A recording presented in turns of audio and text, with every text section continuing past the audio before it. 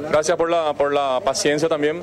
Se llevó a cabo la audiencia de revisión de medidas solicitadas por la las defensas técnicas de los señores Ronaldo y Roberto de Asís Moreira respecto de la prisión preventiva decretada en la investigación en curso. El Ministerio Público sustentó su posición en el sentido de oponerse en este acto a toda modificación de la prisión preventiva motivado en que se trata de una investigación con hechos que atentan contra la seguridad documental de documentos de identidad del Paraguay, cédulas falsificadas, pasaportes originales pero de contenido falso y por tal motivo realmente el hecho es trascendente. Hay que tener presente que el pasaporte es la llave de acceso, expuesto de alguna manera, para el Paraguay e incluso podría ser utilizado para ingreso transnacional y ello pueda, puede tener repercusiones negativas en cuanto a la ilegalidad. Es una etapa, es una etapa aún incipiente. Hace cinco días comenzó la investigación. Se están estudiando conductas individuales que pueden estar asociadas. No necesariamente eso precipita una calificación por asociación criminal, pero hay flagrancia, hay flagrancia de tenencia documental en una situación que es muy relevante para el Paraguay. Entonces, entonces, entonces, no corresponde variar, corresponde el aseguramiento de estas dos personas al proceso por falta de arraigo, porque eso es lo que se trata en esta audiencia, es si la medida cautelar que sirve para asegurar el sometimiento de, per- de personas al proceso es o no imprescindible. Para el Ministerio Público hoy lo es, porque estas personas no tienen arraigo. La, me permiten terminar, por favor. La, la evaluación del inmueble es eh, cercana a los 800 mil dólares y consideramos total y absolutamente insuficiente en función de que es de público conocimiento la actividad desarrollada en años anteriores, principalmente por el se- señor Ronaldo de Asís Moreira, que configuran un entendimiento de eh, cuantioso nivel económico por justamente la tarea profesional desarrollada en el ámbito del fútbol. Por lo tanto, consideramos que no va a ser esa fianza, no va a ser un factor impeditivo para disipar cualquier posibilidad de fuga de estos señores. La defensa técnica señaló lo que me pareció totalmente desacertado, cuestiones de discriminación. No existe discriminación, discriminación alguna en este caso. El hecho de ser extranjero, si se conjuga con la falta de arraigo, tiene una incidencia en el ámbito de las medidas cautelares. Pero Paraguay es un país jurídicamente soberano y va a respetar jurídicamente esa soberanía, por lo menos desde el ámbito del Ministerio Público. Esa es la responsa- responsabilidad institucional y la línea de gestión de Fiscalía General del Estado. Se dejó en claro el Ministerio Público, también asistido por el doctor Osmar Legal en este acto, dejó en claro que esta posición es momentánea en razón, y no definitiva, en razón de que podría variar siempre y cuando elementos nuevos incorporados así lo ameriten. Está exclusivamente en función de ello y es nuestra función como agentes fiscales que actuamos con objetividad verificar en cada estado del proceso esta situación. Vuelvo a señalar, hoy el Ministerio Público no consiente cualquier modificación de la prisión preventiva y en caso de que los órganos jurisdiccionales en uso de sus facultades, así nosotros deslindamos responsabilidad en caso de que estas personas puedan fugarse y así frustrarse eh, una solución judicial definitiva. Pero la defensa pidió el arresto o la libertad ambulatoria atendiendo en cuenta que ofreció este inmueble. Pidió eh, la libertad ambulatoria y en, en- en un- en una segunda opción subsidiariamente el arresto domiciliario, pero vuelvo a señalar para el Ministerio Público no es aplicable en este momento por lo menos. ¿A qué hora se tendrá una resolución del Publicó a las 10 y 15 una resolución el doctor Gustavo Amarilla. Todavía no hay decisión. Todavía no hay decisión. Muchas gracias. Síntesis, entonces peligro de fuga y falta de arraigo por tratarse de un ciudadano brasileño que no tiene eh, cómo garantizar de momento su sometimiento a la justicia. Es así, la, la falta de arraigo eh, incide en el peligro de fuga. Aquí tenemos un hecho de, de flagrancia y tenemos una persona o dos personas. O sea, hay que entender que esa fianza es por dos personas. O sea, nos parece total y absolutamente poco, doctor. suficiente y ni siquiera tienes eh, condiciones de dominio, certificación de condiciones de dominio. E- en el eventual paso, en el eventual caso que así lo tuviese, inclusive es insuficiente de momento. fianza. No, no, no, yo no dije eso. Yo dije, yo, no, no. Yo dije que la fianza en estas condiciones es insuficiente. No significa que si hoy fuese más alta, automáticamente sea viable. Habría que analizar el caso concreto porque eso se realiza siempre en función de las condiciones económicas de la persona encausada. No es en función, no es en función del objeto del hecho. ¿A quién pertenece ese inmueble que ofrece? A una persona particular que, que- que estuvo a disposición del, del juez. No me acuerdo el nombre de todo. radical en la posición de la fiscalía, porque iba a ser un criterio de oportunidad. Hubo, hubo un pedido de criterio de oportunidad de la fiscalía. Eso es aplicación del artículo 314. Eh, es potestad de la Fiscalía General del Estado asumir un criterio diferente a los que podemos asumir cualquiera de los agentes fiscales. ¿Siguen en la investigación? ¿No Sí, de siguen, siguen, siguen en la investigación. ¿Con qué? Y con el pedido de prisión, ellos dijeron que era un criterio. No, no.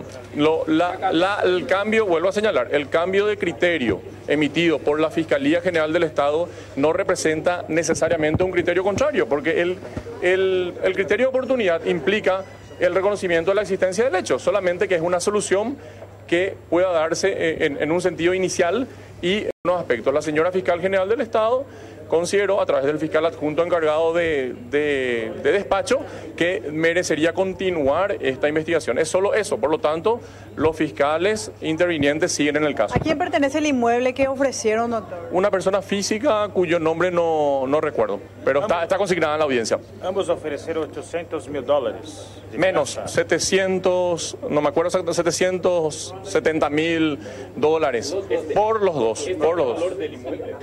No lo sé. Eh, hay una evalu- evaluación, bueno, se presume que, que podría ser aproximado, pero no hay una certificación de condiciones de dominio. ¿Qué puede ser? ¿Qué significa eso? Que pueda estar afectado por gravamen.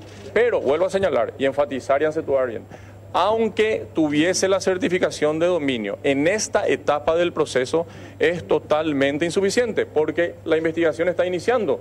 Estamos averiguando conductas que podrían estar asociadas en relación a cada una de las personas. Si estas personas van en este momento y nosotros en un plazo quizás corto inclusive tengamos algún avance, ya no podrán ser sometidas al proceso. Brasil no extradita con nacionales. Entonces, esto se llama, señores, soberanía jurídica paraguaya. Tenemos el mejor de los rela- relacionamientos con las autoridades brasileñas jurisdiccionales. Hemos obtenido avances y resultados en la cooperación internacional y que quede claro que el Ministerio Público será siempre objetivo en el juzgamiento de toda persona. Aquí no hay ningún factor de discriminación. Se señaló también que el señor eh, Ronaldinho Gaúcho, como se lo conoce, es una persona famosa. Y yo expliqué que el derecho no está concebido para diferenciar entre personas famosas y no famosas. Todos debemos ser iguales ante la ley. O sea, aquí simplemente hay que aplicar el derecho y el debido proceso. ¿Ustedes tienen sospechas de que eh, la responsabilidad de Ronaldinho Gaúcho y su hermano pueden estar más allá del uso de los documentos? Es decir, pudiera haber otros delitos conexos al uso. La, la sospecha inicial, vuelvo a señalar, a cinco días de la imputación formulada, cinco días al inicio del caso, es respecto a la flagrante utilización de documentos públicos. Y la lógica y el sentido común realmente insta a investigar a que una persona difícilmente tenga un documento público, un pasaporte por mero afán de coleccionista. ¿Verdad? No, no, eso no es lógico. Entonces, sepan entender los tiempos del proceso y nosotros estamos investigando qué uso se le iba a dar. Luego, objetivamente, si se desvirtúa más allá de eso o si la naturaleza y entidad del hecho tiene una incidencia que permita una solución procesal diferenciada y un, incluso una variación de la medida cautelar, así lo propiciaremos. No, no, no, no se aceptó el mueble, no se aceptó el valor ofrecido. eh, solo para aclarar. Es una propuesta de la defensa. Eso debe ser, eso fue objeto de opinión por parte del Ministerio Público y es en definitiva el juez quien en uso de sus facultades puede decidir lo que corresponda. La postura del Ministerio Público es muy clara. Nosotros necesitamos asegurar el sometimiento de estas personas al proceso y si así no lo fuese ya no es nuestra responsabilidad. En caso que la- el juez doctor, eh, le otorgue el arresto, ¿la fiscalía va a apelar esta determinación? Analizaremos el contenido del fallo. Doctor, en la audiencia de revisión de medidas, eh, el juez ya puede resolver directamente o también existe el trámite de oposición para aclarar técnicamente. No, debe resolver eh, inmediatamente, así anunció que el juez lo va a hacer y la, la disposición de, sea en el sentido que fuese, debe cumplirse inmediatamente sin perjuicio del derecho de las partes de apelar. Doctor, ¿cómo ¿no puede toman dar ustedes detalle? esta comunicación del Ministerio de Justicia de Brasil que pide un poco más de evaluación, de, eh, de objetividad en la investigación? No estoy en conocimiento de los términos puntuales, pero deberá canalizarse seguramente por el conducto pertinente. El Ministerio el Público en el Paraguay tiene autonomía orgánica y funcional y seguiremos actuando autónomamente, respetando siempre el derecho de, de opinión, la crítica a los fallos y, y el común relacionamiento entre naciones. Doctor, ¿qué- ¿cuál es la sospecha más fuerte que tiene la Fiscalía sobre el uso de estos documentos apócrifos de Ronaldinho y Roberto? ¿Qué- ¿Cuál es la sospecha más fuerte? ¿Qué, qué Tenemos, tenemos mucha información, eh, eh, algunas de las cuales no podemos todavía revelarlas, pero tenemos órdenes de detención en trámite y tenemos varias líneas de investigación trazadas que deben ser minuciosamente verificadas para asumir las medidas más acertadas. Pero sí le puedo señalar que es un hecho muy complejo y respecto del cual estamos trabajando el equipo fiscal, vuelvo a señalar, integrado por los doctores Alicia Saprisa, Federico Delfino, Omar Legal y Marcelo Peche, quien les habla. Entonces, consideramos muy satisfactorio el, el- avance y seguiremos firmemente en ese sentido. O sea que el uso de esos documentos no era simplemente para venir a, a hacer una actividad de caridad, sino que aparentemente podría ser utilizado para la apertura de cuentas, inversión de dinero, de capital en el país. Básicamente por ahí va la sospecha del Ministerio Público. Tenemos esas hipótesis y tenemos que confirmarlas o no. A cinco días de una investigación tan compleja, realmente no podemos tener certeza o seguridad de todo, pero estamos trabajando. Esta mañana detuvieron a un funcionario de migraciones nuevamente y a dos funcionarias de DINAC. Doctor, ¿la responsabilidad de ellos dentro de todo esto cuál es? Sospecha respecto a- al funcionario de migraciones es quien estaba en el puesto de control migratorio del aeropuerto Silvio Petirosi, en el al que accedió el señor eh, Sousa Lira con eh, indicadores de haber usado una cédula eh, falsa y por lo tal por tal motivo constatable inclusive a simple vista y allí había también un, un- estaba instalado el servicio de la de informática de la Policía Nacional. Entonces nosotros tenemos sospecha de que eh, pudo haber existido alguna participación. Él será llamado a declarar en las próximas horas y escucharemos su versión y eh, adoptaremos la medida que corresponda en uno u otro sentido. Análoga situación en el sentido que notamos que las mismas tuvieron una participación muy continua y permanente, inclusive en la tramitación misma de eh, la aprobación de la entrada de estas personas. Claro, y teniendo en cuenta naturalmente que estaban eh, eh, llevando una cédula de un pasaporte eh, de una persona muy reconocida como es el señor Ronaldo de Asís Moreira, conocido como Ronaldinho Gaucho. Entonces, notamos allí una participación que podría trascender eventualmente, eventualmente a, a lo que es una función de protocolo o de asistencia, pero eso no tendrán que, que explicar y también asumiremos la Pero decisión corresponde. autoridades nacionales también habrían llamado a estas personas o estarían involucradas, eh, funcionarios del Estado, por ejemplo, doctor. No lo descartamos. Estamos investigando a toda persona del ámbito público como privado que pudiese haber tenido participación, sin distinción alguna. Muchas gracias.